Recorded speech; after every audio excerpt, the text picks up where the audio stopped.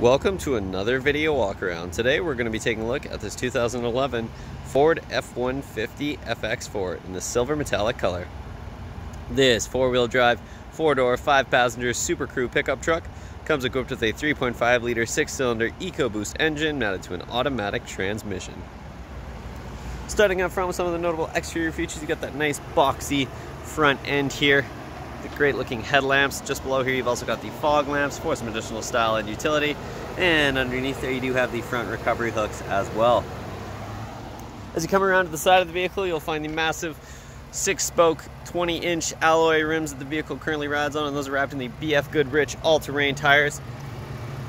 Absolutely ready to tackle any and all terrain with lots and lots of tread as you can see. As you continue down the truck, you've got the FX4 badging and if we look towards the bottom, you'll find the nice side steps, making it nice and easy to get in and out of this truck. In back here, you've also got tinted windows for some additional privacy for the rear passengers or rear cargo, and that tint continues in the back window as well. And you'll also notice you've got the rain deflectors up top here, which is a nice added bonus to keep the rain off the windows. In back here, you'll find the FX4 off-road badging. And as we head towards the back here, you'll find the F-150 badging. And up top here, you do have the hard tonneau cover. That's the Ford Custom Accessories tonneau cover. And underneath here, of course, this truck does have a hitch, so it's ready to tow. And underneath there, you've also got the spare tire in case you ever get a flat.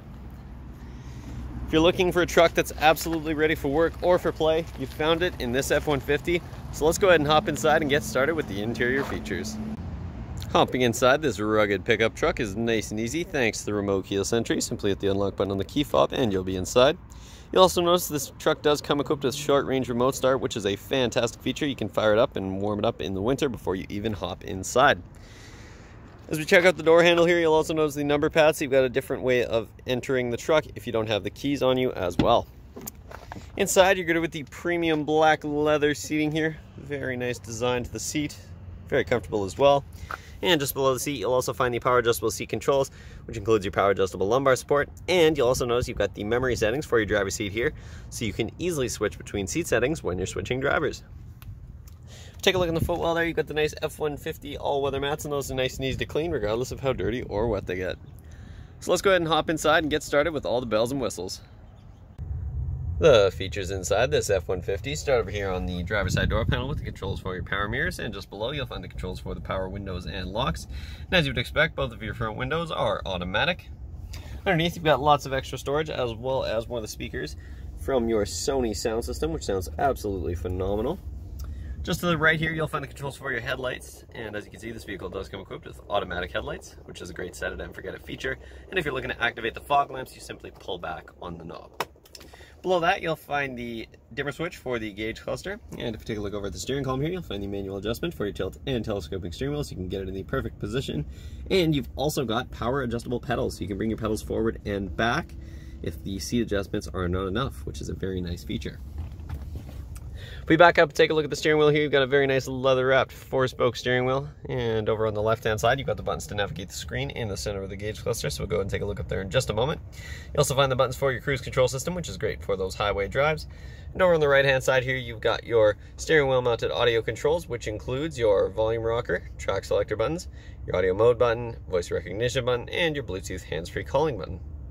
So if we go and take a look up in the gauge cluster there, you can see the bottom left is your odometer, and you can see that this vehicle currently has 149,232 kilometers on it. In this very first screen here, you've got your transmission temperature gauge. Next, you've got your two different trips here. So you can track lots of different information, which includes your trip time, total fuel consumption, average fuel consumption, and your trip distance. And you've also got two different trips there, so you can track those independently. Next, you got your fuel economy screen, so you can check your instant fuel economy as well as your average. You've also got the range there, and you've also got your fuel economy history from the last five minutes. Next, you've got your truck apps, which includes your off-road screen, so you can check the angle that your truck is at if you're on some difficult terrain. And you've also got the trailer screen here if you're in tow or haul mode. Next, you've got these settings here, which includes your driver assist, so you've got your rear view camera, trailer brake mode, and your trailer sway control. Next, you got lots of different options in the vehicle screen here, so you can go through and customize those to your preferences. You've also got the language, units, and if you want to reset that to the factory settings, you can do so at the bottom there. Finally, you've got some information in this additional screen here, which gives you your my key information. And you've also got the system check here, so you can check your oil life, your doors, brakes, trailer brake control, and your range. If you go ahead and take a look towards the center of the dash here, you'll find the little info screen up top, which gives you your audio system as well as your climate settings, the exterior temperature, and a little compass as well. Below that, you'll find the button to toggle your traction control as well as your hazard lights, and you've also got the passenger airbag warning there. Below that, you'll find your audio unit, and in terms of your audio options, you do have your standard AM, FM radio. You've also got a CD player, USB and auxiliary inputs, Bluetooth, and Sirius XM radio, so you can be sure that you can listen to your own audio regardless of the type of device that you have. Just to the left here, you'll find the drive mode selector, so you can easily switch between two-wheel high, four-wheel high, and four-wheel low.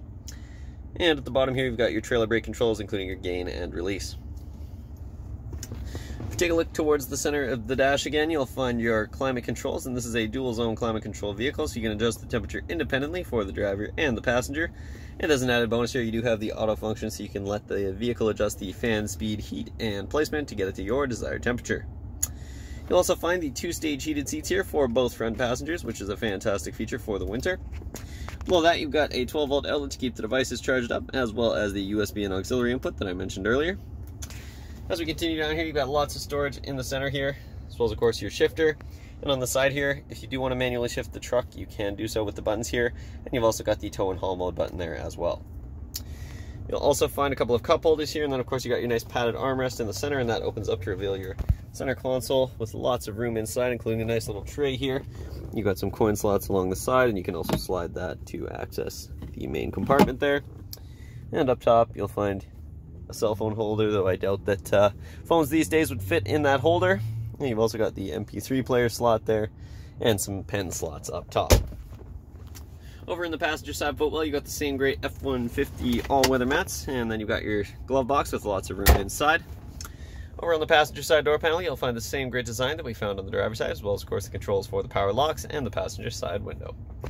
Taking a look up top, you'll find an auto-dimming rear mirror, so that'll keep your mirror nice and dim automatically without you having to flip it down at nighttime. And if you put this truck into reverse, you'll also see the backup camera pop right up, which is a really handy feature to have in a truck of this size. If you take a look up top here, you'll also find a couple of interior lights as well as the controls for your sunroof, which is a fantastic feature to have in the summer. You can let in lots of light and you can open it up and let in lots of airflow as well. So that concludes the features up front. Let's go ahead and hop in back and take a look at some of the features in the rear of this vehicle. In the rear of this truck, you've got more of the same luxurious black leather seats that extend all the way across the rear bench seat. Here, you've also got tons and tons of legroom for the rear passengers, as well as the same great all-weather mat. But even if these front seats are pushed all the way back, you still got lots and lots of legroom. If we hop inside here, you'll find a couple of handy storage pockets in the back of the driver and the passenger side seat, as well as a couple of cup holders in the back of the center console here. A couple of climate vents to keep the rear passengers comfortable, and to keep the devices charged up, you've also got an AC outlet and a 12 volt outlet. These rear seats do fold up in a 60-40 split. All you have to do is grab underneath the seat there, fold it up nice and easily. And on the other side there, you do have the Sony amplifier for your sound system there. So a little bit less cargo room under that seat, but as you can see, lots and lots of cargo room here. And you've got an extra little storage compartment underneath there. Folding the seat down again is nice and easy. Simply grab the latch here and that'll fold right down. If we go and take a look towards the rear door panels here, you've got the same great design that we found in the front, as well as, of course, the switch for the rear windows, a little bit of storage, and a cup holder underneath. That concludes this short video walk around, but this rugged pickup truck will not last long on our lot, so make sure you stop by Kelowna Toyota, located at 1200 Leathead Road, or visit us online at kelownatoyota.com for more information. We look forward to seeing you soon.